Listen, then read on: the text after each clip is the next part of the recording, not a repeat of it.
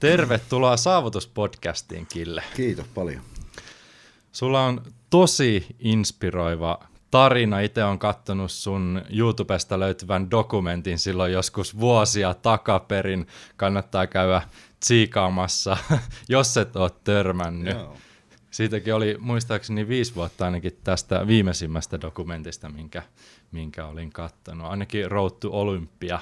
Aa, mutta onko se nähnyt sitä Killerin tarinaa? Senkin on kattonut. kyllä, on, se on... Tota, niin, niin, kaksi vuotta ehkä. Onko se kaksi vuotta sitten tehty? Senkin on itse asiassa kattonut, mutta tänään, tänään kattelin just noita, niin se ei ensimmäisenä tullut hakuna Joo. siihen, mutta on kattonut sen, missä tosiaan avauduit enemmän just lapsuudesta ja isäsuhteesta ja näin joo, poispäin. Joo. Se tuli mun mielestä siinä Killerin tarinassa. Nimenomaan, sitten. joo, joo. Just. Joo. Ja se on toi, siis se on, se oli mielenkiintoinen tehdä. Me tehtiin niin kuin, se oli pelkkää puhetta tavallaan ja sitten kuvituskuvaa vaan siinä. Et siinä joutui aika paljon niin kuin käymään läpi tässä sillä lailla, että oli pakko etsiä kaikki kuvat siihen tietenkin, niin kuin, mitä nyt pystyy vaan ikinä miltäkin ajanjaksolta löytämään, kun mehän käytiin sitä tavallaan vähän niin kuin vuosi kerrallaan siinä. Hmm. Sitten niin kuin, kun mentiin näihin vaikka kisahommiin ja muihin, niin se oli kyllä joo, se oli mielenkiintoinen. Me voitaisiin itse asiassa vähän spekuloida tota dokumenttia jopa tässä vaiheessa, koska se kuitenkin liittyy, liittyy periaatteessa sun koko tarinaan, että miten sä oot päätynyt tähän pro-tason kehorakentaja pisteeseen, mikä on aika harvinaislaatuisuus täällä Suomen maassa. Niin. Taitaa olla koko Pohjoismaissa aika harvinainen sellainen ammatti tai laji ylipäänsä, että pääsee tolle tasolle. En ole itse ihan sata varma, että millä tasolla ylipäänsä Pohjoismaissa tämä kehorakennus on, mutta ainakin Suomessa ei ole tullut vastaan. Joo, siis en, nyt mä, en mäkään muista kyllä ulkoa, että montako, montako meitä, niin jos otetaan Suomi, Ruotti, Norja ja Tanska vaikka mukaan, niin en ole varma, että montako, montako on tällä hetkellä aktiivisia varsinkaan, mutta siis No Norjasta mä tunnen yhden, joka on mun kanssa samassa tiimissä. Ruottista mä tunnen kaksi. Tanskasta en tai tuntee yhtään. Et sillä niin kun, ei niitä nyt varmaan ihan mahdottomia ole. Nyt sellainen kourallinen ehkä kaksi. joo, joo, siis veikkaan, että alle, alle kymmenen, jos puhutaan niin miehistä. Kyllä. Naisten puolella varmasti on sitten enemmän, mutta, mutta tota, miehissä ei ole kyllä. Okei, se ei on... ole hirveän monta. Siitä voi sitten oikeasti miettiä, että tosi, tosi, tosi uniikki, uniikki tilanne. on se joo. Tietenkin meitä on niin kuin harrastajamäärällisesti hyvin vähäisen. Että kai se sillä vähän kompensoi tuohonkin, että, että jos Suomessa pudottaisi vaikka yhtä paljon kuin pelataan jalkapalloa tai jääkiekkoa tai mitä vaan suositumpaa lajia, niin kyllä mä luulen, että meitäkin vähän enemmän olisi. Kyllä. Miten sulla alun perin voisi mennä vähän sinne ei ehkä lapsuuteen asti välttämättä, ellei se ihan jostain syvusta se kehorakennus tuu käsittääkseni, ei, ei mutta miten sä innostuit kehorakennuksesta tai ylipäänsä tällaista kuntosaliharrastuksesta, minkälaista liikuntataustaa sulla sattuu tuolta pohjoisesta Joo. kuitenkin? Suomen huipulta. tota, niin, niin, se on mä nyt ollut sillä tavalla aika, aika liikunnallinen oikeastaan ehkä sinne jonnekin 15-16-vuotiaaksi asti. Et kaikki mitä nyt niin lapset tekee yleensä, mitä voi tehdä. Et me pelattiin jotain jääkiekkoa. Jalkapalloa nyt ei hirveästi, hirveästi tullut siellä pelattua. Ei meillä oikein ollut semmoisia hyviä kenttiä, mutta lätkäkaukalla me saatiin joskus silloin, kun mä oon ollut nuori. Ja, ja sitten jotain, tota, no hiihtänyt mä oon jonkun verran. En tykännyt hirveästi ikinä siitä, mutta on on sitten hiihtänyt, kun ei muutakaan tekemistä ollut. Mm. Ja, ja tota, en tiedä, onko laskettelu nyt urheilua, mutta siellä mä tunturin rinteillä opettelin laskettelemaankin. Mä olin kyllä silloin varmaan jotain 4-15 vanha, mutta, mutta se oli niin kuin yksi semmoinen, mitä tuli tehtyä aika paljonkin. Sitten tota, siihen se oikeastaan jäi varmaan sitten, kun kaikki, kaikki niin kuin tärkeimmät asiat alkoi elämässä kiinnostaa niin paljon – että ei, tota, ei tullut enää sillä lailla tehtyä oikein mitään moneen moneen mm. vuoteen oikeastaan. Mitä mä nyt on ollut sitten jotain reilu parikymppinen, kun mä lähdin sieltä pohjoisesta ylöspäin, tai siis alaspäin. ja tota, niin, niin, niin, niin, tota, sitten oli ehkä semmoinen piste siinä elämässä, että, että mä muutin kuitenkin, mä muutin Vaasaan, mistä mä en tavallaan tuntenut ketään. Oikein mun sisko asui siellä silloin. Se oli oikeastaan ainut. Sitten, sitten tota, koulusta tuli muutama kaveri silloin. Mutta muuten niin se oli aika semmoista, että kun sä oot siellä koulussa tai töissä käyt, niin tota, ei ollut hirveästi muuta tekemistä.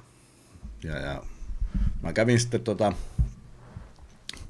Vaasassa veti reenejä silloin, noita potkunyrkkeilyreenejä, semmoinen kuin Jussila Jarkko, mikä on mun käsittääkseni yksi Suomen parhaista siinä touhussa. Kävin sitten jonkun verran siellä, mutta sitten siinä tuli se ongelma, että kun ne reenit on aina tiettyyn aikaan, ja mun oli niin kuin siihen aikaan varsinkin hyvin vaikea sitoutua siihen, että mä olen mm. aina samaan aikaan siellä, siellä reeneissä, niin sitten se vähän niin kuin kaatui siihen. Ja sitten sitä hetken päästä, niin sitten tuli toi punttisali siihen niin kuin semmoiseksi tavallaan niin kuin, että et nyt kuole siihen tekemisen puutteeseen, niin, niin, niin jotain piti alkaa tekemään. Mitäs nopeasti sulla itse siihen kuntosalilajiin sitten, tai jopa kehonrakennukseen nousi semmoiset tosi tavoitteelliset tähtäimet, että lähit oikeasti ajattelemaan jopa sinne kisaamispisteeseen asti, että haluaisit viedä se laiva. Oliko siinä joku ulkoinen ärsyke sitten, että joku katsoi, että salilla sun tekeminen on hyvän näköistä ja hei vitsi Kille, sun pitäisi ehkä käydä kokeilemassa ja nouse lauteille ja katso mitä tulee, tai oliko se ihan... Mä luulen, että se johtuu enemmänkin siitä tavallaan siitä niin kuin ihmisistä, ketä siinä ympärillä on. Et mä pääsin silloin tota niin, niin, Suomen mestarin kanssa sitten kun mä olin siinä aikani, aikani heilunut siellä salilla. Töitten kautta tutustuin, tutustuin siihen ja sitten siellä tietenkin, kun se on, se on kuitenkin semmoista tavallaan tavoitteellista koko ajan se homma sillä. Ja ehkä se sitten sitä kautta niin kuin pisti niin kuin ittenkin ajattelemaan sitä, että eihän tässä nyt ole niin kuin mitään järkeä, jos en mä aio kilpailla. Ja, ja sieltä se lähti. Mä en, niin, mä, mä en muista, että mulla olisi ollut mitenkään tarkkaan semmoista, semmoista tota, ajatusta siinä ainakaan alkuvaiheessa, että, että mä lähtisin kilpailemaan.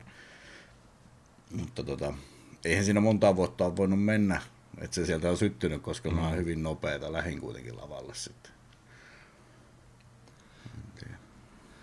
Jos vähän spekuloisi sitten luonteen piirteitä, erityisesti kehorakennuksia, kun tosi moni moni syttyy siihen lajiin jostain ihmeen syystä. Minäkin olen syttynyt silloin nuorempana. Nykyään ehkä pikkusen erilaiset tavoitteet liittyen muun muassa rumirakenteeseen ja näin poispäin, mutta oletko aina ollut, jos mietitään sellaista täsmällisyyttä ja säännöllisyyttä ja tosi sellainen tavoitteellinen henkilö, mitä kaikki tuommoinen kehonrakennus oikeasti vaatii, että sä et saa tuossa lajissa vaan yksinkertaisesti viikossa niitä tuloksia, mm. etkä kuukaudessa, Oletko aina ollut sellainen, että sulta on löytynyt tämmöiset luonteenpiirteet sitten? No en oikeastaan, ja mä väittäisin, että, että ne on ehkä vasta niin kuin viime, ihan viime vuosina loksahtanut tavallaan ne palaset niin kuin suht koht paikoille. Ei ne vieläkään varmasti ole niin kuin ihan sillä kuin ne, mitä ne mun mielestä pitäisi olla. Et, et, et se olisi niin kuin prikulleen eikä melkein niin kuin kaikki tehty se tuli vähän sillä niin kuin pikkuhiljaa, että, että tota, varsinkin se alku, niin kuin varmaan hyvin monella, no mä en tiedä, musta tuntuu, että nykyään ehkä se enemmän menee sillä että kaikki niin kuin, ne lähtee tekemään heti täysiä ja that's it. Hmm. Mulla se oli aika semmoista jaksottaista, että saattoi olla, että mä kolme viikkoa reenannut ollenkaan ja sitten taas jonkun aikaa ja sitten taas pois ja, ja, ja se meni vähän sillä lailla. Ja sama noiden kisaamistenkin kanssa, niin ei se, ei se niinku helppoa ollut missään vaiheessa. Et ehkä niinku viimeiset, sanotaan, ehkä neljä vuotta, kun mennään tästä taaksepäin, niin on voinut sanoa, että se on oikeasti aika helppoa se homma. Mm-hmm. Et kyllä siihen asti on niinku se kymmenen vuotta oikeastaan se on ollut semmoista taistelua. että, että, en, ole, en ole sillä lailla niin synnynnäinen tähän, tähänkään lajiin, että että se olisi jotenkin helpolla tullut sieltä, tai mun olisi ollut helppo tehdä ne asiat, vaan kyllä se on vaan ollut sitä, että, Sitten kun mä niin päätin sen, että tämä on se mitä mä teen, niin vaikka se on mennyt välillä tosi lujaa niin mettään se homma, niin ei ole vaan niin kuin suostunut sitten antaa periksi. Että hmm. En tiedä mikä, onko se sitten joku periksi antamattomuus, mikä siellä on vai ei. Mä luulen, että eniten mua niin ruokki siinä alussa se, että mä kehityin tosi hyvin heti.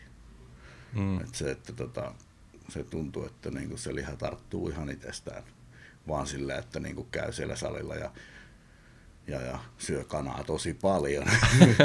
Et mä söin ensimmäiset kaksi vuotta hunajamarinoitua kanaa. Ja, Ai ja, ja mä en vieläkään pysty syömään sitä. Mä söin sitä neljä kertaa päivässä. Niin paljon kuin mä pystyn syömään.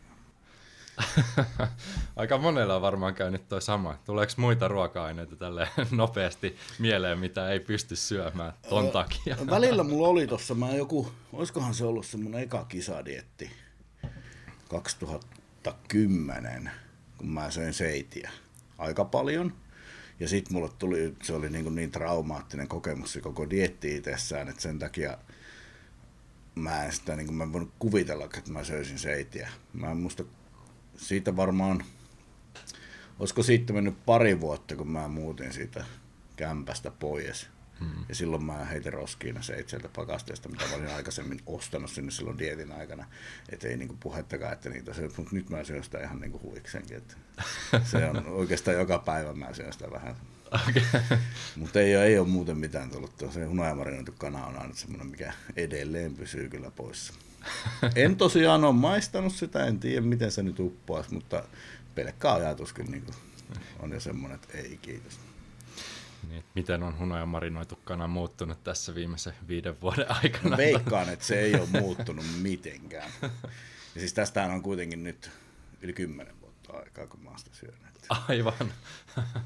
Miten nopeasti sä sitten päädyit ihan kisalavoille siitä, kun aloitit, jos sanoit, että se oli aluksi vähän sellaista on-off-tyylistä se treenaaminen, ja liha tarttu kuitenkin hyvin, ja kana maistui jossain määrin, mm. mutta miten nopeasti sä lähit kisaamaan siitä? Itse kun mä en ulkoa edes muista, koska mä nyt aloitin reenaamaan, no. mutta siis se on ollut 2005 tai 2006. Ja mulla on semmoinen mielikuva, että 2007 mä oon ollut katsomassa ekoja kisoja kulttuuritalolla. 2009 mä tota, ajattelin, että mä kokeilen vähän dietata, koska en ollut ikinä elämäni aikana dietannut. Se dietti oli semmoinen, että mä söin vähintään kerran viikossa hampurilaisia mm-hmm. Hesburgerin kanahampurilaisia majoneesilla, se on hyvää. ja tota, sitten 2010 mä menin. Et siinä sanotaanko ehkä semmoinen, se 2009 oli varmaan puolet siitä vuodesta oli semmoista, että voi sanoa, että jollain tavalla niin kuin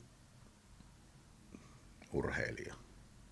Mm. Et, et siinä ei ollut niin paljon sitä kaikkea muuta sekoittamassa sitä, tai sitten just sitä, että niitä hampurilaisia syödään tai jotain muuta tällaista.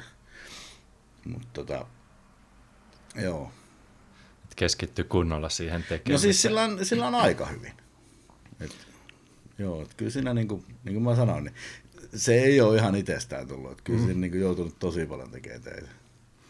Muistaaks mä ihan oikein, jos, jos tälle äkkiseltään muistelen sitä killeridokumenttia erityisesti, niin puhuttiinko siitä, että sä, oli, sä muutit sieltä Vaasasta Tampereelle ihan podauksen takia periaatteessa. Joo.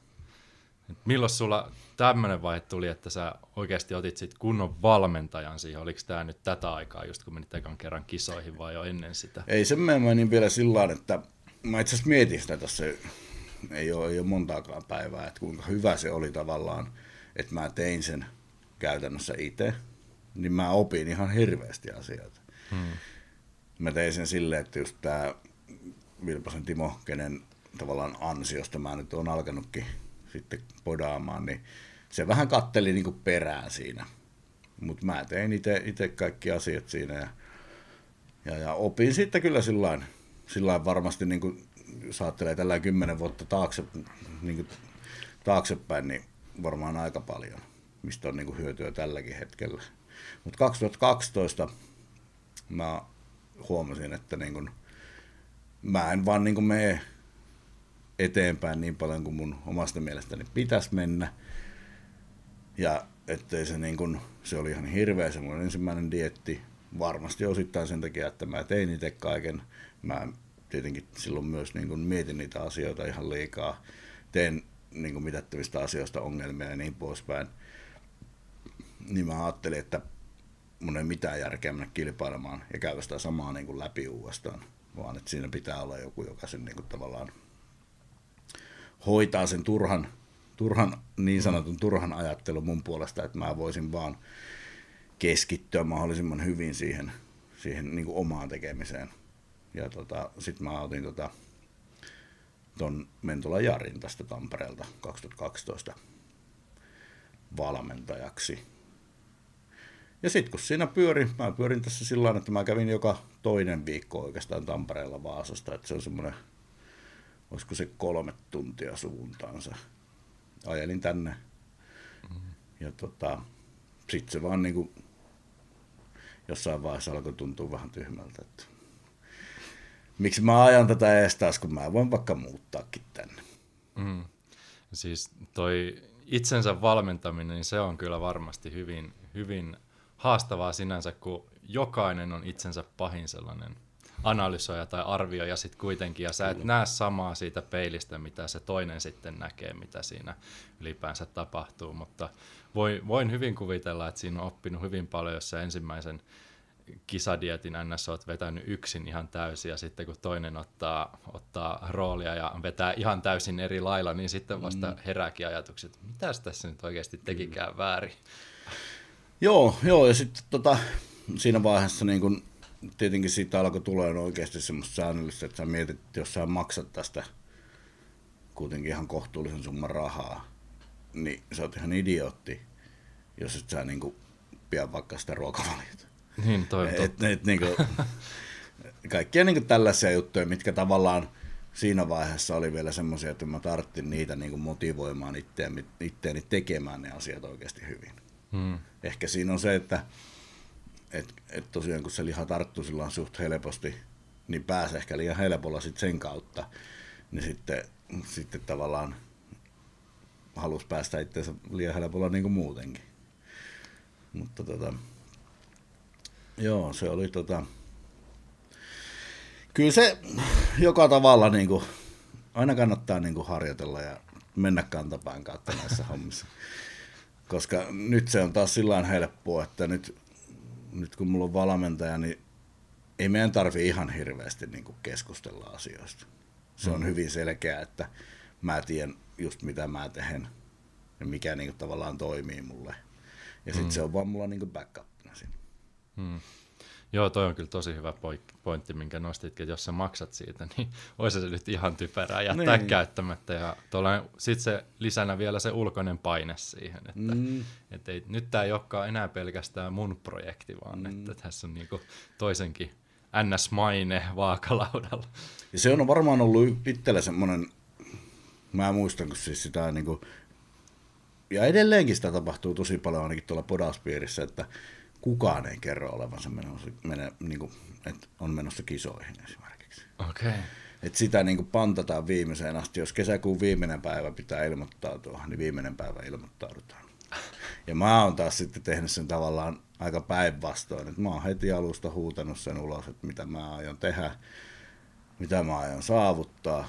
Ja sillä tavalla mä oon niin kuin luonut itselleni myös sen, että mun on pakko tehdä ne asiat, kun mä menen niistä uhoamaan tuolla. Että mä oon käyttänyt myös sitä tavallaan niin kuin hyväkseni sitten, että, mm. että en mä voi lähteä pakittamaan enää tässä vaiheessa. Mitäs sulla muuttuu treenaaminen, jos mietitään sitä, että vaihoit tänne Tampereelle ihan oikeasti ton lajin takia tai muutit, niin miten sulla muuttui se tekeminen siinä, että aloit se nyt keskittyä ihan heittomerkeissä täyspäiväisesti siihen tekemiseen vai minkä tasosta se oli, niin kuin jos mietitään ihan ajankäyttöä? Oliko silloin jo tavoitteena se ammattilaisuus vai ihan riittikö Suomen mestaruus vielä siinä vaiheessa? Äh, mä, luulen, mä luulen, että en mä siinä vaiheessa vielä mistään ammattilaisuuksista huuellut, koska mä olin niin kaukana vielä kuitenkin. Mutta tota, on siinä varmaan joku täytynyt olla, koska ei siitä mennyt kuin vuosi eteenpäin kun mä menin ulkomaille kisaamaan sillä ajatuksella, että mä niin kuin voitan sen ammattilaiskortin. Mm. Tota, yleisesti se, niin kuin, se suurin tekijä ei ehkä ollut siinä tekemisessä enää niinkään paljon sen, tänne Tampereelle tulon kanssa. Että kyllä mä niin kuin siihen sen viimeisen vuoden olin, olin, olin niin kuin muutenkin satsannut tosi paljon jo. Että se oli ollut semmoista järjestelmällistä. Siitä oli jätetty kaikki viikonloppurennot ja kaikki muut tämmöiset pois. Mutta se, että täällä, tota, täällä oli niin paljon tavallaan ihmisiä, jotka keskitty siihen asiaan. Että se ilmapiiri itsessään niin ruokki sitä touhua niin paljon, että sulla on koko ajan se, tavallaan se drive päällä siihen, että ne kaikki asiat tehdään niin sanotusti. Eikä edes niin sanotusti, vaan siihen aikaan niin kaikki asiat tehtiin sen kehorakennuksen ehdolla. Että ei ole olemassa niin mitään muuta mm. kuin se. Sitten en mä sitä niin ole kokenut tai en Vaasassa kokenut sitä millään lailla. Siellä oli kuitenkin, taisin siihen aikaan olla ehkä ainut kilpailija siellä. Sitten kun sä tulit Tampereelle, niin täällä on niin kuin sali täynnä kilpailijoita. Niin se ympäristö on vaan niin erilainen, että, että, että se oli vähän niin kuin, että sä väkisinkin kehityt, kun sä tuut tänne. En tiedä. Oikeissa piireissä. Niin. Mm. Missä, missä vaiheessa sulla ihan ensimmäiset noin SM-mitallit tuli sitten? Sait se ensimmäistä kisoista palkintoja kotiin vai mitä sieltä jäi käteen? Öö, siihen aikaan tota, oli semmoinen kuin noviisi-sarja, eli aloittelijoiden sarja. Mä olin silloin, muistaakseni, olisinko mä nyt ollut neljäs sitten. Hmm. Mä olin ihan varma, että mä voitan sen. Kunnes mä tajusin, että ei vähän ihan surkeassa kunnossa. Muistaakseni, muistaakseni mä olin ehkä neljäs silloin. Ja sitten siitä meni se kaksi vuotta. 2011 on ainut vuosi, kun mä en ole kilpaillut. Jos mm. ei tiedä vielä tämän vuoden kanssa, että miten tässä nyt käy, mutta, mm. mutta tota, 2012 mä olin muistaakseni kuues. Ja 13. Onkohan mä ollut silloin toinen sitten? Yhtään Suomen mestaruuttahan mulla ei ole vieläkään. Mä, mm. mulla silloin kun tota, mä sitten voitin, voitin tuon ammattilaiskortin, niin, niin, niin se jäi sitten siinä. En mä, oo, mä en ole jostain syystä ikinä niin paljon kiinnostunut tuosta Suomen kisasta. Mä en tiedä mikä syy siinä on. Tai mä en ole saanut itsestäni irti sinne ikinä mm. sitä, mitä mä oon saanut ulkomailla. No, se onkin mielenkiintoista miettiä sille, että kaveri on kuitenkin pro-tason tekijä ja ei ole Suomen mestaruutta saanutkaan ja silti on tuommoiselle levelille päässyt, että sitä sopii miettiä. Voisitko sä tota, avata niin kuin kuuntelijalle, joka ei välttämättä kehonrakennuksesta ymmärrä, että miten pro-tason niin kuin, tittelin nimimerkin voi saada ylipäänsä, mitä merittejä se vaatii? Mm, tällä hetkellä se menee mun mielestä niin, että äh, on olemassa niin sanottuja karsintakilpailuita, joista sitten äh, mun mielestä olemalla kaikkien sarjojen paras sä voitat sen. Hmm. Silloin se, se muuttui tuossa niin ensin just itse asiassa niitä aikoja, kun mä, mä rupesin juokseen tuolla ulkomailla, niin sitä karsittiin tosi paljon. Euroopassa taisi olla tyyliin yksi tai kaksi kisaa, mistä se oli mahdollista saada. Se oli muutaman vuoden sillaan ja sitten se muuttui niin, että joko sä voitat tosiaan sen overallin, eli ne kaikkien, sarj- kaik, oot niin kuin kaikkien sarjojen paras, hmm. tai sitten sä voitat kaksi kansainvälistä kilpailua, niin kuin tämmöistä qualifier-kilpailua. Ja niistä mä sitten sain sen, että tota, mulla oli siinä se kolmas kisa vielä, mikä olisi ollut sitten semmoinen, mistä, mistä mä tavallaan ajattelin, että mä olisin sieltä lähtenyt enemmän taistelemaan sitä niin overallin, over, overall-tittelistä.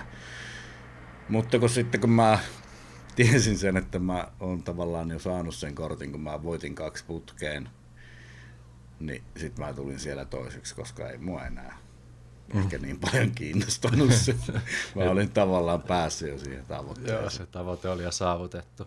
Mites tuossa menee, mm, jos tuosta vielä puhuu tuosta pro-tason hommasta, niin tuleeko esimerkiksi Jenkeistä toiselta mantereelta oikeasti huippu, huippukavereita kilpailemaan tänne esimerkiksi Eurooppaan tuosta Qualified-sarjasta, että pääsis, pääsis niin kuin pro-tasolle siellä? Onko se, meneekö se tolleen ristiin? Aika vähän ne käy täällä. Et niillä on aika paljon siellä niitä kisoja, mistä ne saa ne itse. Siellä on myös järjettömän kova taso. Mm. Et tota, mun mielestä ehkä Euroopasta saa tällä hetkellä helpommin sen kuin Jenkeissä. Okay. Mä en ole niin tarkkaan siihen amatööripuoleen siellä tutustunut, mutta semmoinen mielikuva mulla on. Joo. Mutta siinähän onkin just se, että sehän ei tavallaan itse korttihan, tämä ammattilaisuus, niin se korttihan ei siinä hirveästi merkkaa mitään. Hmm. Eihän se, se on ihan sama kuin se, että sulla on plussakortti tai joku muu kortti. Se kortti mahdollistaa sen, että sä voit mennä kilpailemaan sinne. Ja that's it. Hmm. Et sitten taas se, että siellä niinku pystyisi jollain lailla jos laittaa kampoihin, niin sit sun pitää niinku oikeasti olla aika hyväkin. Kyllä. Et hirveä määrä tuossa on niitä, jotka ei edes kilpaile. Niillä on, ne on saanut sen ammattilaiskortin, voittanut sen joskus, eikä ole sitten enää mennyt edes lavalla. Hmm. Hmm. Et tota, Tavoitteet saavutettu siinä niin, pisteessä niin. tavallaan. Ja mä ymmärrän sen ihan hyvin, koska mä tein tosi paljon töitä siihen. Se oli niin pitkään itselläkin tavallaan tavoitteena se, että en mä ollut edes ajatellut sitä, että mitä sitten, kun se tulee. Mm. Vaan se tavoite oli ollut just se, että se pitää voittaa. Ja kun se oli niin monta kertaa tavallaan niin lähellä siinä, niin, niin ei sitä ollut uskaltanut edes ajatella sitten sen e- niin kuin EMS. Hmm. Hmm. Ja mä, niin kuin, se on vaan, mä ymmärrän hyvin sen, että tavallaan se maha tulee täyteen siitä. Varsinkin silloin, jos se on niin kuin, jos siihen on joutunut tekemään todella paljon töitä.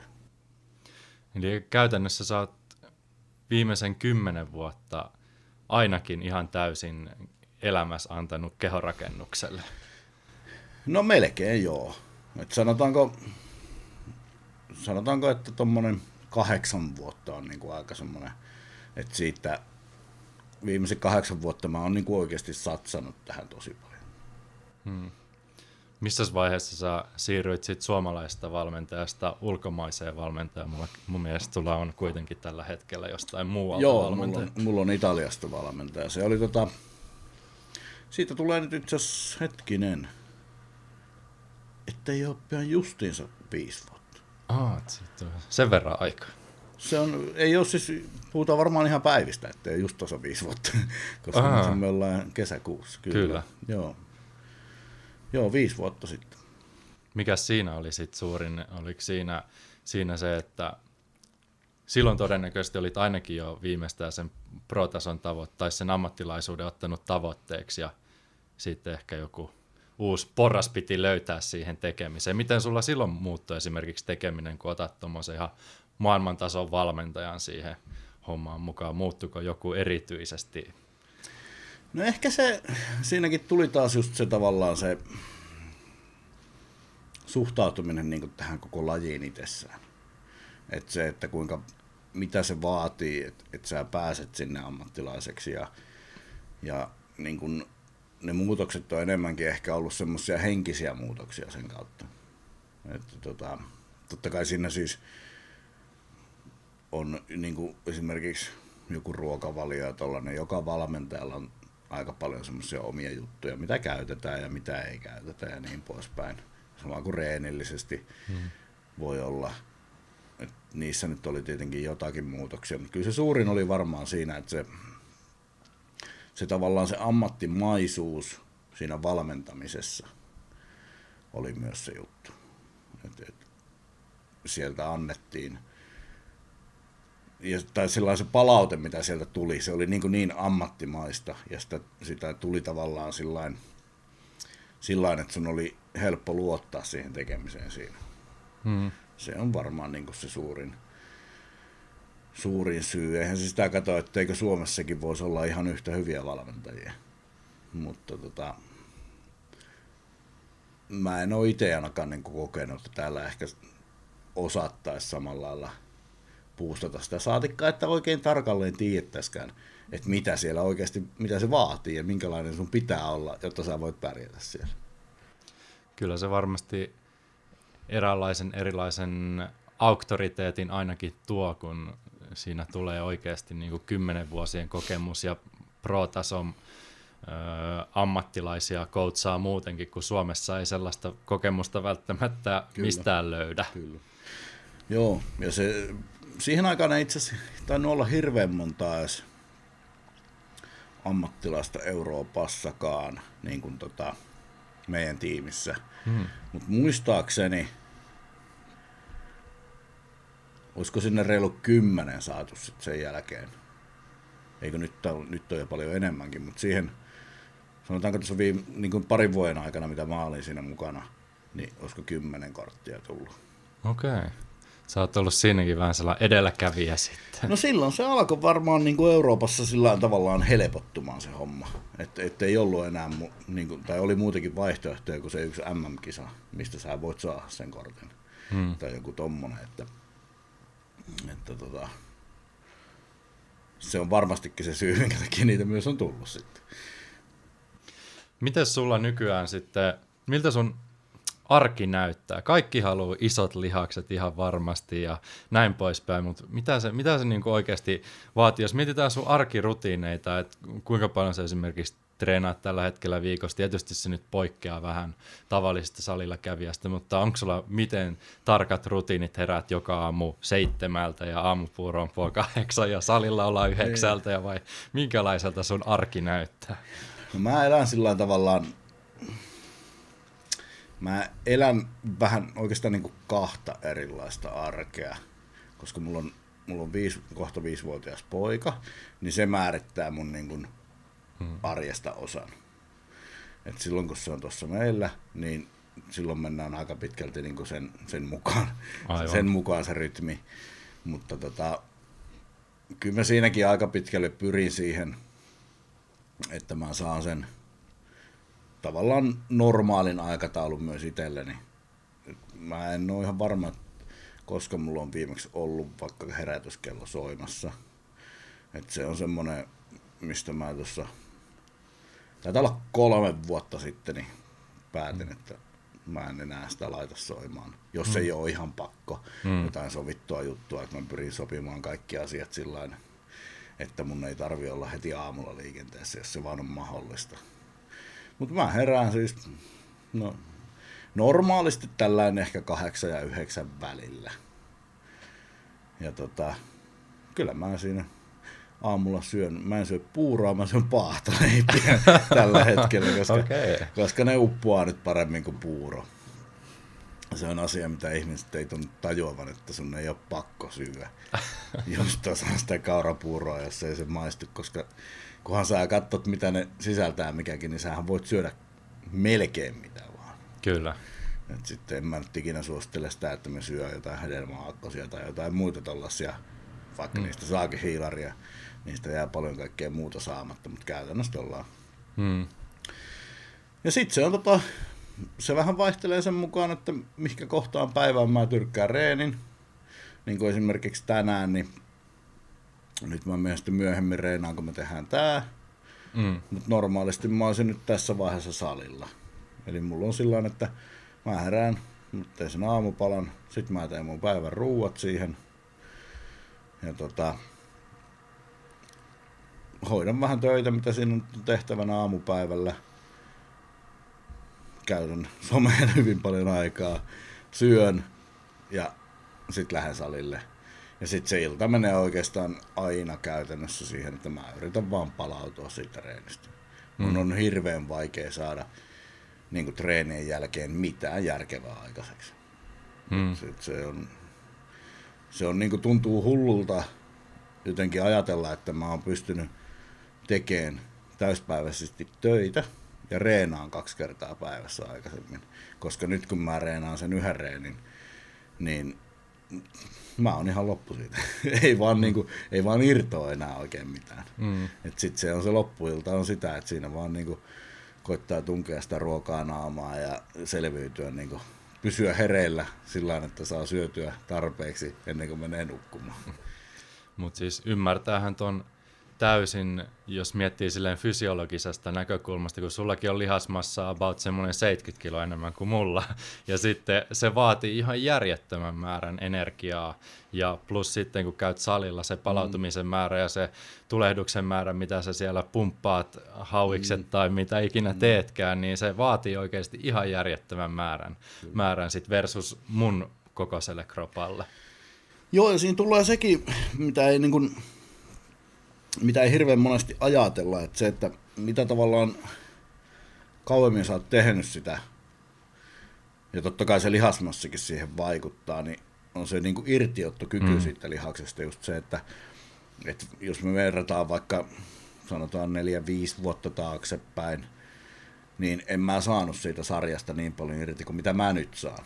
Et hyvin harvoin mä teen yhdessäkään liikkeessä enempää kuin yhden tosi kovan sarjan. Okei. Okay.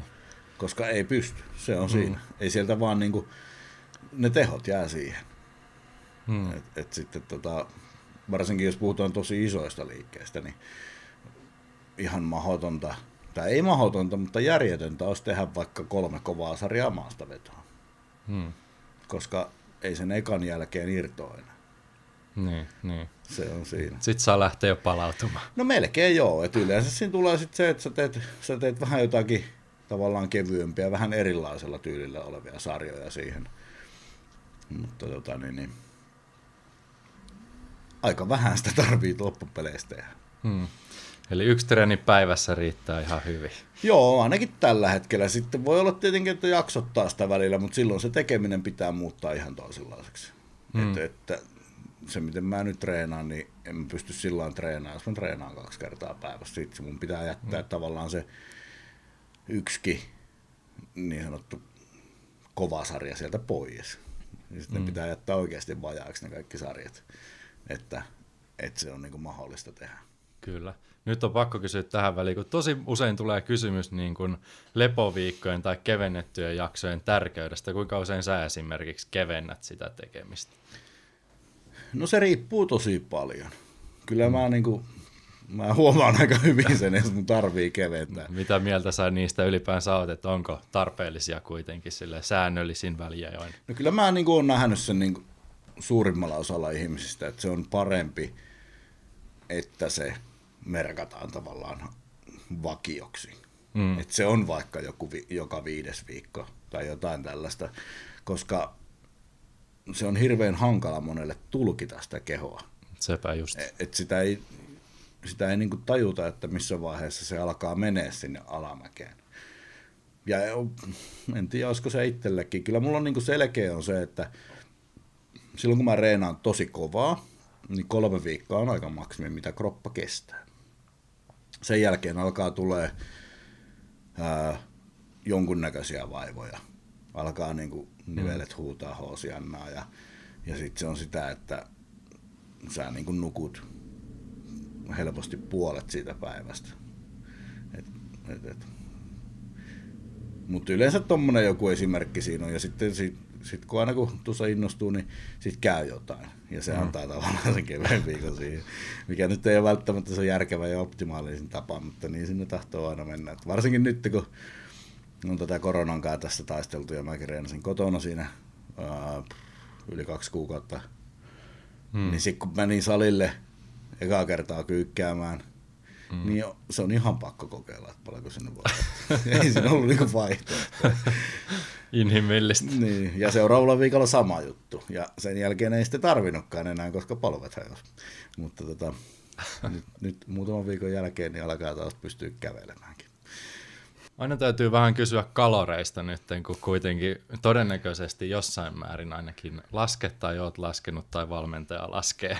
Minkä verran sulla esimerkiksi, jos mietitään nyt vaikka about viiden vuoden haitaria on kalorit muuttunut, onko joutunut alkamaan syömään enemmän ruokaa minkä verran tai minkä verran tulee ylipäänsä seurattua ennäs makroja? Öö, mulla menee, tai siis meillä on aina ollut sillä mun valmentajan kanssa, että käytännössä – se ilmo, ilmoittaa, niin sanotusti ilmoittaa mulle ää, protskulähteet, niiden määrän, hiilarilähteiden määrän ja rasvojen määrän. Ja sitten mä syön hmm. vähän niin kuin mitä mä syön. Et sitten jossain niin kuin, jos ollaan kisoihin preppaamassa, niin sitten siinä tulee sillä tavallaan tarkempaa, että sitten me niin kuin monitoroidaan sitä vähän tarkemmin, että mistä mulla tulee ne, koska niillä saa oikeasti aika paljonkin aikaan sit siinä varsinkin loppuvaiheessa, että mistä niin kuin lähteestä mitäkin otetaan. Mutta hmm. tota, muuten mä pyrin aika paljon sillä niin kuin fiksaamaan sitä sen mukaan, että mikä maistuu milloinkin. Koska tota, se syöminen on, se on järjettömän raskasta. Hmm. Et, et nyt mä oon niin kuin tänä vuonna ehkä – tietoisesti niin kuin pyrkinyt koko ajan syömään enemmän. Mulla on just se hyvä puoli ollut tosta, kun mä oon kilpailu joka vuosi, niin, niin, niin tota, mulle tulee aina ne pätkät sinne, kun mä en saa syödä. niin se tavallaan on vienyt aina sitä, että et, et niin kuin niitä kaloreitakaan ei ole tarvinnut, tarvinnut sillä lailla nostaa mikään ihan järjettömän ylös. Et mm. mä oon mennyt suht koht pienillä kaloreilla nyt oikeastaan kaikki nämä viimeiset viisi vuotta. Okei. Okay. Tai no, no mikä nyt kellekin on niin pieni, mutta sanotaanko semmoista niin neljää tonnia ehkä. Hmm. Jos miettii tuommoista tuommoista niin peruskautta. Et kun se vastaa mulla tosi hyvin siihen, että mun ei tarvi niin syödä järjettömästi siihen, että mä saisin painoa ylös, koska mm. mulle kertyy, niin kuin, niin kuin sanoin silloin alussakin, niin mä kehityn niin kuin tavallaan tosi helposti. Niin edelleenkin mulla on se, että ei mun niin kuin ihan tajuttomia tarvitse syödä, mutta kyllä se nyt on niin koko ajan semmoista, että joka mm. ruoan kanssa menee entsyymeille, että sä pystyt taas helpottaa jollain tavalla sitä ruoansulatusta. Ja nyt ne kalorit on jossain neljä ja puolen paikkeilla. Mm, mm. Mistä tota, mistä nyt varmaan joku, mitähän mulla tulisi hiilareita, varmaan joku 6, 600 rasvaa joku 80 ja loput sitten prutsku. Niin just. On se suhteellisen matala. on monta kertaa omilla videoilla sanonut, että itse syön sitä neljää tonnia, mulla paino ei liiku yhtään mihinkään. Joo. Et... niin, siis no mulla se pysyy aika lähellä nyt. Mä oon tässä tämän kevään, kevään. Tämä nyt on tietenkin poikkeuksellista aikaa mä oon ehkä jopa liikkunut hieman enemmän kuin normaalisti, pois lukien salireenit. Mm. Niin, että tota, kun mä en tee mitään. Mm. Niin jos mä liikkusin, jos mä kävisin vaikka töissä tai mulla olisi sillä tavallaan se arki jotenkin aktiivista, niin varmasti pitäisi syödäkin paljon enemmän. Mutta se, että Totta jos kai. sä makaat sohvalla 20, sohvalla tai sängyssä 20 tuntia päivästä, ja neljä tuntia päivästä sä niin liikut, niistä pari tuntia on salilla ja loput pari tuntia on se, että kun sä kävelet sitä sohvalta tyyliin sinne keittiöön tai jotain tällaista, käyt kaupassa tai jotain muuta, mm. niin, niin se kulutus ei niin kuin sitä kautta kasva niin paljon, että pitäisi syökkään paljon. Mm. Ja aineenvaihdunta on mitä on, että tota, se tietenkin kostautuu siinä vaiheessa, kun sitä rasvaa pitää polttaa. Että sitten taas niin kuin selkeästi joutuu tekemään aika paljon enemmän töitä kuin varmasti vaikka sä. Mm. Mä luulen, että sä saat niin kuin helpommalla itsesi ainakin johonkin kireyteen Joo, verrattuna voi. taas muuhun. Niin, voi se olla, että saa semikorkeilla kaloreilla itse kyllä syödä ja silti kuidun niin, vakasa. Niin, niin. Mutta ei se, ei se yhtä hyvältä näytä. Hupsista puhelin soi. Mutta tota, miten sun tulevaisuuden tavoitteet, jos mietitään kisatavoitteet, onko nyt esimerkiksi korona tänä keväänä jo jotain kisoja vienyt alta vai? No nythän on käytännössä niin kuin kaikki kisat. Mä näen näin, että kaikki kisat on ihan kysymysmerkkejä. Että tota, meillä piti olla tässä Euroopassa ihan, ihan niin kuin hyviäkin, useampikin hyvä kisa. Ää, tällä hetkellä ne on peruttu. Sinne on loppuvuoteen on mahdollisesti ehkä pari kisaa. Mm. Jenkeissä on kisoja, mutta mä en henkilökohtaisesti usko siihen, että me pystytään menemään sinne. Niin, kyllä. Ainakin tällä hetkellä se, että niinku, se, että jos sä oot karanteenissa kaksi viikkoa, kun sä menet sinne, ja sit sä oot karanteenissa kaksi viikkoa, kun sä tulet takaisin, niin ei se vaan niinku jotenkin oikein toimi. Mm. Että tota, mä oon aika sillain avoin. Kyllä mä oon koko ajan sillain niin sanotusti niin lähtökuopissa tässä. Että heti jos se siltä näyttää, että tuossa niin loppuvuodesta voisi olla mahdollista kilpailla, niin, niin sitten sit niin se preppi laitetaan päälle, mutta mä luulen, että tässä pitää ottaa vielä niin kuin pari kuukautta ainakin ennen kuin, ennen kuin saadaan niin kuin minkäännäköistä selkoa. Plus sitten muutenkin Jenkkien tilanne, että hmm. mihin siellä nyt nuo kaikki mielenosoitukset ja mellakat ja kaikki muut niin kuin menee, niin tosi vaikea sanoa. Joo, ei kukaan tiedä. Minkä verran sulla nykyään esimerkiksi preppi kestää? Kuitenkin teillä on jo pitkä valmennustausta silleen valmentajan kanssa ja uskoakseni valmentaja tuntee sun kropan hyvin jo aika, aika pitkälti tässä vaiheessa, että miten, miten se toimii, niin miten keskimäärin sulla joku dietti tai preppi kestää about? Niin, joo, siis ja sen lisäksi, että se tietää, miten se toimii, niin mä tiedän, miten se toimii. Joo, ja totta kai, kai niin kuin, nyt, niin kuin mä sanoin tuossa aikaisemmin, että nyt se alkaa olemaan niin kuin mun mielestäkin aika lähelle sillä tasolla tämä mun tekeminen, mitä se pitää olla. Eli just se, että mulla ei ole hirveänkään, mulla ei ole käytännössä niin kuin minkäännäköisiä eroja, on se sitten niin kuin offi tai preppi päällä niin kuin tuossa yleisessä tekemisessä, mikä helpottaa sitä hirveästi, koska silloin se, silloin se ei vaadi niin paljon se prepille lähteminenkään.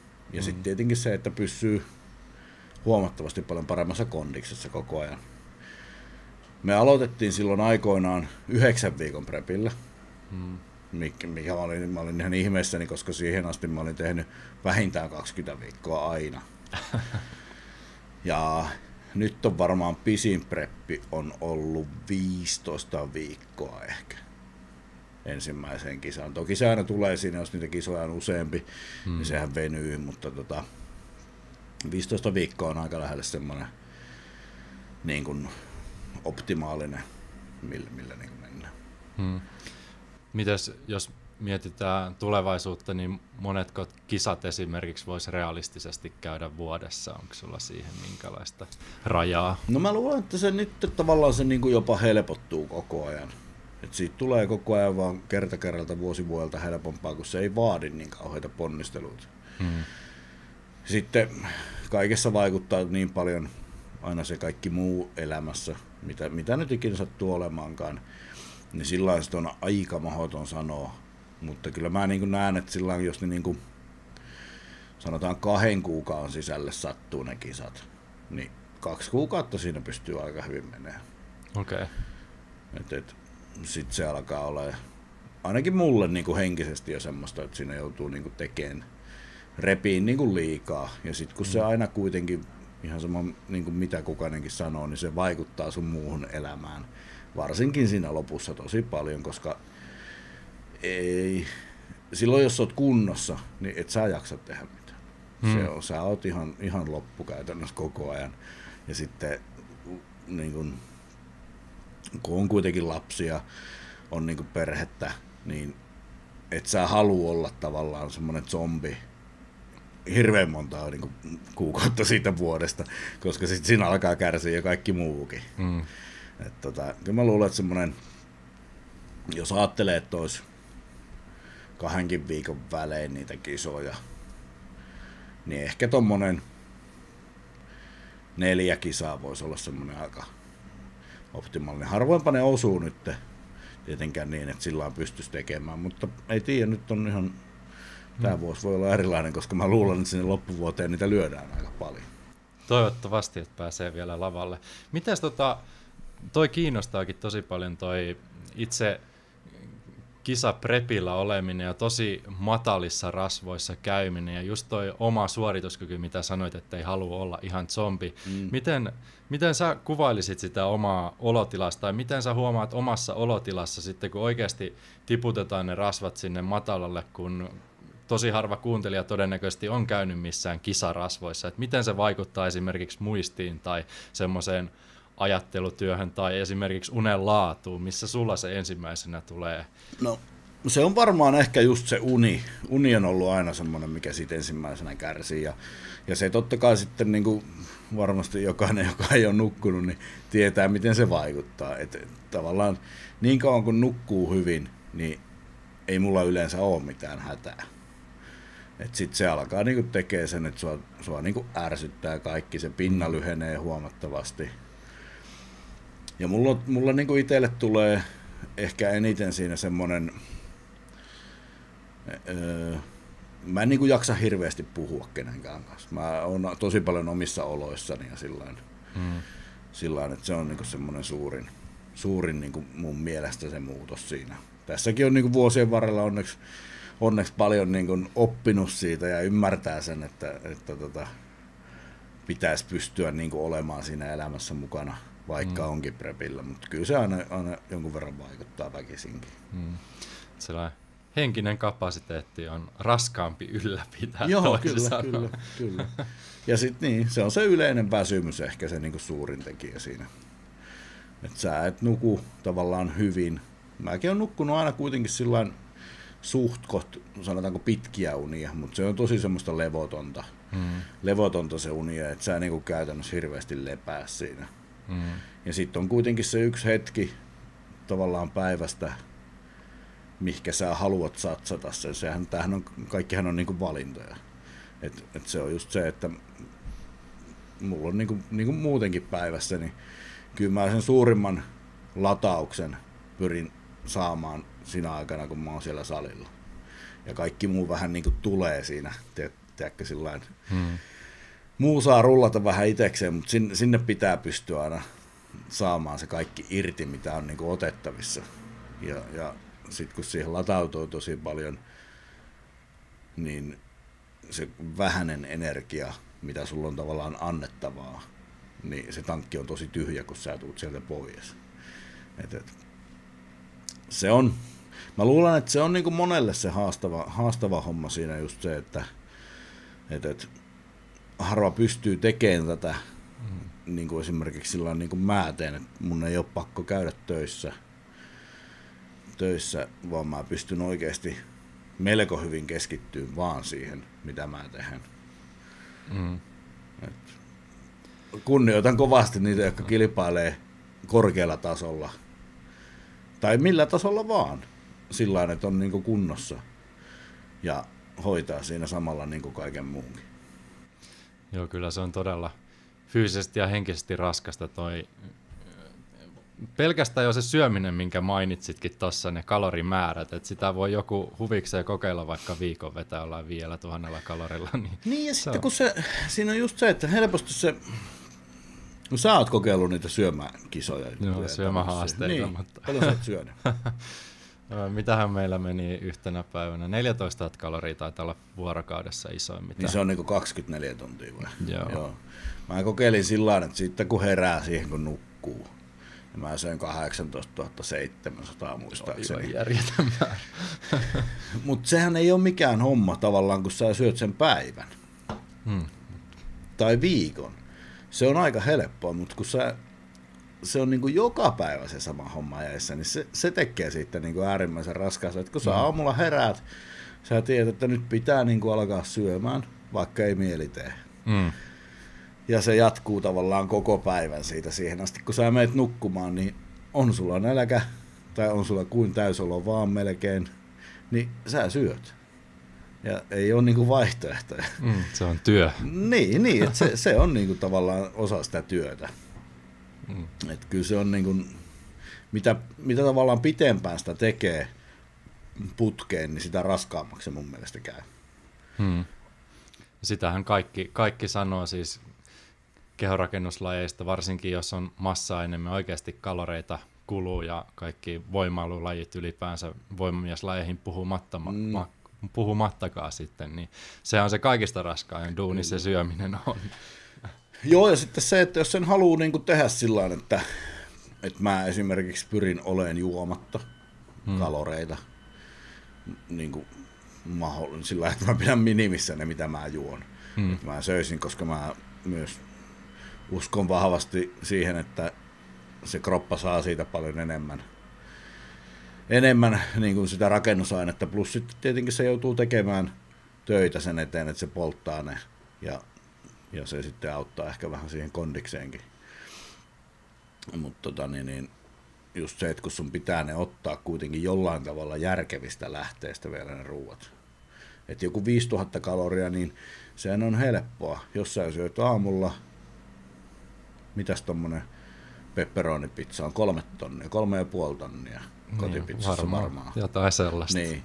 Ja sit sä syöt yhden pennentierran. niin, se on siinä. Niin sulla on viisi tonnia täynnä. Se, joo, se on puoli tuntia ne upotet. Niin, että eihän sun sillä niin jos sä jaat sen vaikka päivälle, niin eihän sun ihan hirveästi tarvitse syödä. Mutta sitten jos sä alat painaa siihen kanaa ja riisiä, niin mullakin se annos on sadasta 200 grammaan niin kuin kuivapainolla. Eli no parhaimmillaan se yksi ruoka painaa vähän vajaan kilon. Hmm. Ja sitten jos se jotain puuroa, niin vielä enemmän. Niin, niin se, että, että sä syöt vaikka neljä tai viisi kiloa joka päivä, niin se antaa niinku sitä perspektiiviä siihen. Hmm. Et se, on, se on hurjaa homma, mutta hmm. se on tehtävä. Valintoja. Kauan sitä oot, ootkin jaksanut tehdä. Onko sulla ikinä tota, ollut tavoitteena esimerkiksi muuttaa ihan ulkomaille sitten kilpailun takia, vai onko tämä Suomi place to be? Kyllä mä sitä jossain vaiheessa tuossa mietin tosi paljonkin, että olisi, niin kuin, olisi mm. hieno lähteä, mutta sitten tosiaan nyt kun on, on niin kuin syy, minkä takia täältä ei vitti lähteä, niin ei, ei se enää ole vaihtoehto. Hmm. Et, et, et. Suomi on sillä lailla, tämä on niin kuin todella hyvä maa olla. Meillä on vähän kalliimpaa täällä kuin monessa paikassa, mutta sitten taas täällä toimii kaikki. Esimerkiksi suomalaiset salit, niin aika harvasta maasta löytyy tämmöisiä saleja, mitä Suomessa on. Jos mietitään niin kuin laitekantaa, ilmastointia ja kaikkea mahdollista, niin aika harvasta paikkaa löytyy hmm. näin hyvät puitteet tehdä tätä hommaa. Ja plus sit se, että meidän ruoka on kuitenkin suht koht puhasta aina. Ostat sä sen kaupasta tai haet sä sen tavallaan mistä vaan. Niin, niin ei ole sillä niin kun, sun ei tarvitse siinä liikaa miettiä. Jos sä menet jenkkeihin, sä alat syömään puhtaasti siellä – mm-hmm. niin se maksaa kaksi kertaa enemmän kuin Suomessa. Siinä on tekemistä. Niin, niin, niin se niin kuin, tämä on ehkä sillä niin kuin, semmoinen hyvä, täällä on niin, kuin, niin paljon hyviä asioita verrattuna sitten mihinkään huonoihin asioihin. Mun mielestä ainut huono asia Suomessa on sää. Ei saa rusketusta ylläpidettyä. Niin, ja sitten se, että kyllä se niin kuin lämpöisessä, mun mieli on ihan erilainen kuin on kesä, mm, jos aurinko paistaa. Mm sä oot paljon pirteempi ja kaikkea tällaista verrattuna sitten johonkin räntäsateeseen. Tota, niin, niin, ei, ei täällä niin kuin hirveästi paljon muita huonoja ole. Idiootteja ihmisiä nyt tietenkin, mutta niitä on joka paikassa muuallakin, niin, niin, niin tota, niistä ei varmaan pääse karkuun missään. Ei varmasti pääse, mutta hyvä maa harrastaa kehonrakennusta. No sitäkin, sitäkin.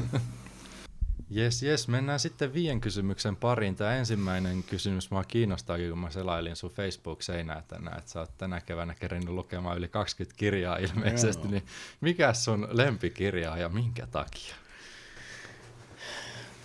En tiedä, kyllä vaikea sanoa. Niitä on siis, mä luen kuitenkin silloin ehkä aika laidasta laitaan noita kirjoja.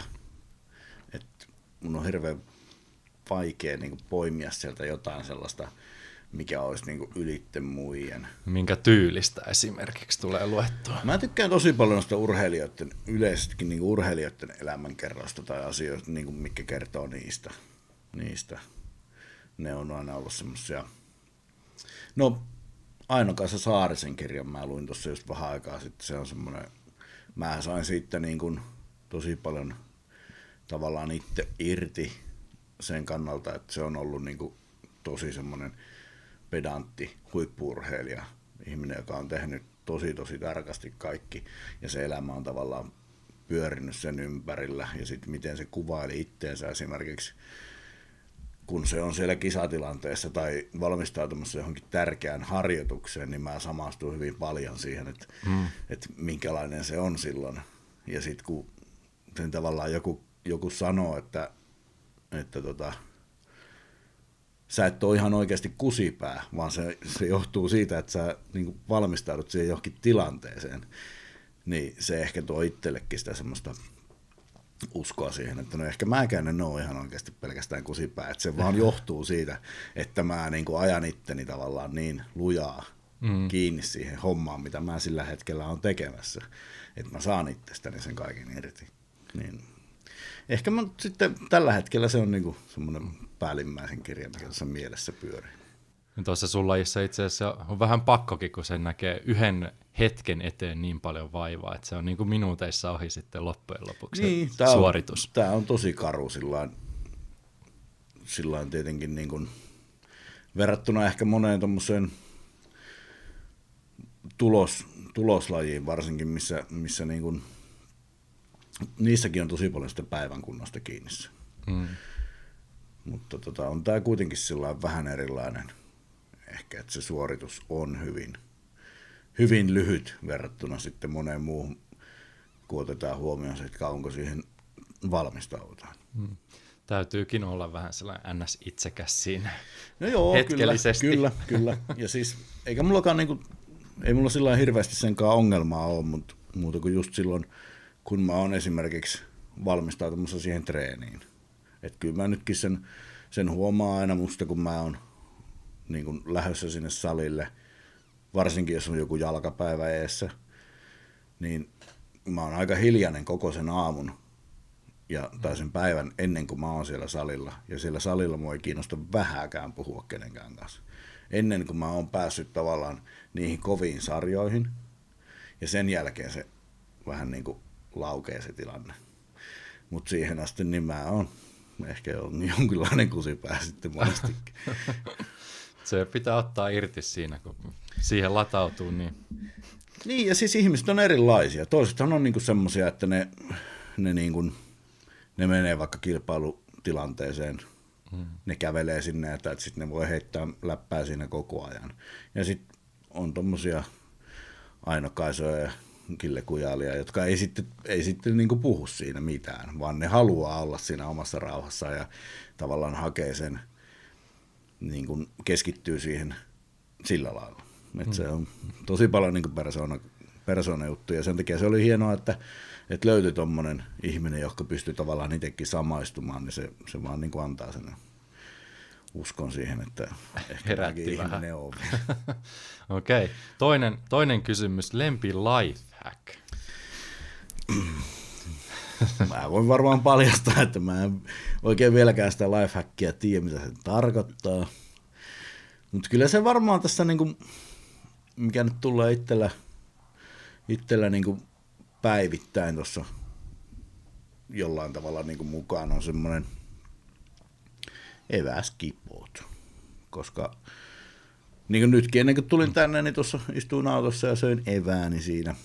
Että tota, ilman niitä olisi, olisi niin kuin hankala pärjätä. Joo, toi varmaan tuollainen peruskehorakentajan tunnusmerkki sitten. ja mä niin kuin hyvin pitkälti pyrin siihen, että mä syön kyllä kotona ruokani, mutta, mutta tota, mulla, on, mulla on lähes aina, jos mä lähden jonnekin, niin mulla on eväät mukana, koska ikinä en tiedä, mitä tapahtuu. Hmm. Se, että se ei tarvi niin kuin hirveästi, siinä ei tarvitse kauheasti tapahtua asioita, että sulla meneekin se aikataulu pitkäksi, ja sitten se on aina jostain pois että mä ennemmin roudaan, roudaan sitä eväskippua mukana, kun mä lähden kauppaan, kuin se, että mä valvon sitten yöllä sen takia, että mun on niin pakko yrittää syödä ne ruoat jossain vaiheessa. Kyllä, täysin ymmärrettävää. No. Mikä se on sun suurin oppimiskokemus elämässä? Voi liittyä mihin tahansa. Vaikeita kysymyksiä. Niin, varsinkin kun on jonkun verran noita oppimiskokemuksia tullut tässä vuosien varrella. No ei ehkä tarvii olla kaikista suurin, mutta joku, niin. joku Vaikeahan niitä on, ne on hyvin erilaisia, erilaisia niin kokemuksia, mitä itselläkin on, mutta kyllä varmaan, tai eikä mikään varmaan, siis eniten mikä on itteen ikinä vaikuttanut, niin on tietenkin se lapsi. Ja, ja se on niin semmoinen jatkuva, jatkuva tav- tavallaan oppimiskokemus, mikä siinä on. Mm-hmm. Että tota, se, se pistää miettiin tosi paljon, varsinkin sitä, että mitä sä itse oot ja mitä sä niin kuin annat ja, ja minkälaiseksi sä haluat, että se toinen kasvaa siinä. Niin sun pitää miettiä aika paljon myös niin kuin niitä, niitä omia valintoja ja kaikkia muita tällaisia asioita, mitkä niin kuin opettaa sitten myös itsellekin. Hänkin on vielä niin nuori vasta. Niin, kyllä. Siinä, kyllä. On, siinä on vielä oppimista isälläkin. On joo, joo ja siis nyt varsinkin kun se kaikki asiat kiinnostaa ja mä oon tietenkin se maailman tieto lähes sitten, niin mun pitää sitten jonkun verran ottaa asioista selvääkin, kun niistä kysytään, koska mä en halua vastata, tiedätkö ihan mitä vaan, vaan se, että jos mä jotakin sanon, niin se pitäisi ainakin jollain lailla olla myös niin kuin totuudenmukaista. niin, niin siinä tulee vähän niin kuin joka tavallaan alasta ja elämän osa-alueesta, niin myös itsekin vähän opiskeltua sitten. Toi on mahtavaa. Joo. Pistää sut koville. kyllä, kyllä. Minkälaisen neuvon, neljäs kysymys, minkälaisen neuvon antaisit 18-vuotiaalle itsellesi?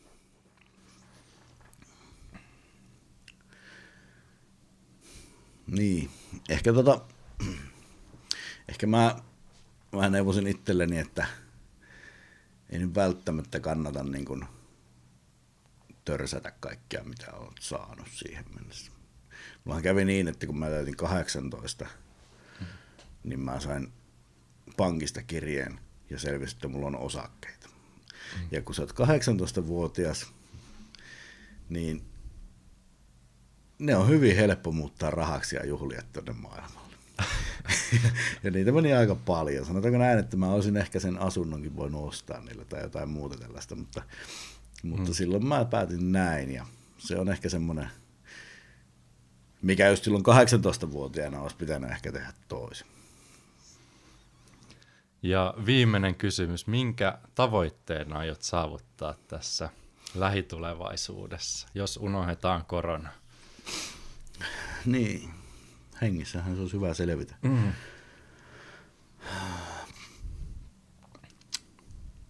Teikö, ei mulla oikein ole mitään semmoista hirveän konkreettista. Kun se, mulla on, mulla on, niin kuin, siis, mulla on niin helppo elämä, kun mä tavallaan, mulla on joka päivä se tavoite, että mä menen sinne salille ja mä teen siellä sen, mitä mä pystyn tekemään. Mm. Ja that's it. Ja nyt sitten joka vuosi on ollut myös tietenkin se, että mulla on ne kisat tiedossa. Mä tiedän, että mä kilpailen. Ja nyt sitten ei ole niin sitä varmuutta siellä, niin, niin, niin mulla ei ehkä semmoista selkeää tavoitetta ole muuta kuin sitten se, että, että nyt mä niin koitan, koitan niin kehittyä tässä, ottaa niin irti sen, mitä tässä saa. Mutta mulla ei mitään semmoista niin ehkä – mitään semmoista järkevää tavoitetta ole. järkevää tavoitetta ole.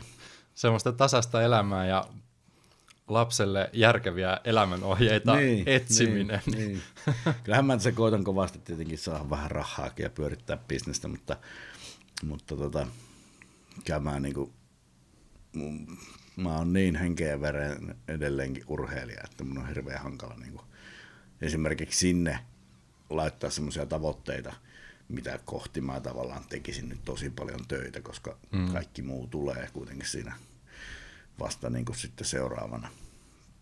Et, et, kyllä ne kaikki tavoitteet niin kuin tavalla tai toisella liittyy, liittyy tähän uraan tällä hetkellä. Mm, kyllä.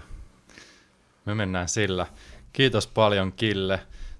Ja tältä erää toivotan erittäin hyviä treenejä Kiitos. Ja toivotaan, että tämänkin vuoden lopulla tai puolella pääset lavalle astumaan, ettei ihan mene sohvalla niin, makoiluksi. Joo, nyt olisi kuitenkin niin kuin tavallaan kymmen, mikä, mikä, mikä sitä sanotaan? Anniversary. Joo, niin, vuosijuhla. Tota, niin, vuosijuhla. Niin tota, olisi se harmi, ettei pääsisi kisaamaan. Toivotaan parasta. Näin tehdään. Ja erittäin hyvää kesää. Kiitos.